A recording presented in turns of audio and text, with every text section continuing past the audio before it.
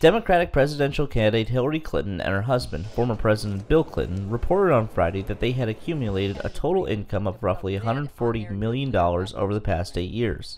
The couple made $23 million from speeches in 2013 alone.